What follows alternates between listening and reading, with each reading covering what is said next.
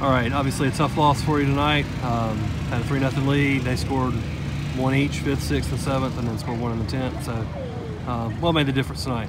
Uh, they're a good ball team. They they picked away, and um, their pitcher got comfortable. You know, she started um, pounding the strike zone, start getting um, you know change up. We got us out of our rhythm a little bit, but uh, they got a base runner, got them the second, got a big hit each each time up. So uh, kudos to them. They're a good team we we played good. Um, they played. Uh, I can say they played better. Just they got the hits when they when they needed it. Um, good game. I yeah. don't take nothing bad from it. We you know we, we played hard. And I'm, I'm proud of my girls. And my girls didn't yeah. give up. And we we tried to put it in uh, to win it there in the seventh inning, yeah. and just it just didn't work out. Um, yeah, they're in the tenth. Um, that ball Joe hit looked like a gapper, you know, and then Kendall Smith makes hugely yeah. athletic play there and grabs it out of the sky. I mean, yeah, that ball that ball tips off her glove or whatever. Yeah. We we tied up in it, and it actually, you know, if it goes to the gap, Summers um, it's over. Summers got the at least the third. Yeah. So uh, that's the way the ball bounces sometimes, and and at this level, at this point, you got to have luck. Sometimes the ball's got to bounce your way. Yeah. Uh, again, good team. They they uh, worked hard. They, they I can say they deserve it, but they deserve it. that makes sense. Um, and they're uh, the fifth and the sixth, both of those innings, uh, the run they scored, an error contributed. Right. Um, after y'all played solid defense all year, you know, obviously it's a tough spot for a couple of errors to crop up.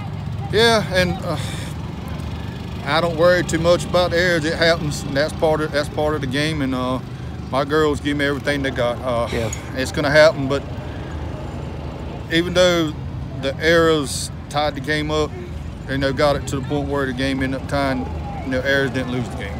Yeah. Uh, they done their job, and uh, like again, kudos to them. You know, kudos to them. So.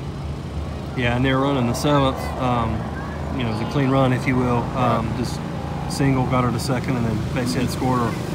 Um, but being one out away from winning the game, you know, obviously that's a tough spot for them to score. Yeah, uh, they picked away. They picked away, and they picked away. They they adjusted to to summer, and they got the hits. I mean, and and at any point in the game, they they had to get the hit to, to win it. And if you do the job and beat summer, I, you know, I give yeah. it to you.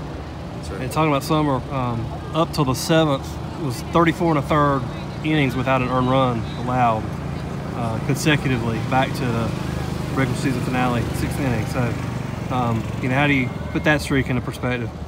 Uh, she's unbelievable. Yeah. And she's been unbelievable all year. Uh, I hate to see her go out like that, but she still was. She still threw the ball well. I, I mean, I don't know how many strikeouts she had. I don't know what, but she's actually, you know, an epitome of what you want to have on the mound. And I, I take her any day, any game, any time, and um, on the mound. So. Yeah. And the runs you guys did score early, um, you've done a good job all year at kind of taking what the other team gives you, and um, a couple of those were unearned as well. So. Um, once again, you guys were able to do that. Yeah, I, and I'll take them, and that, that's that's part of uh, part of playing ball.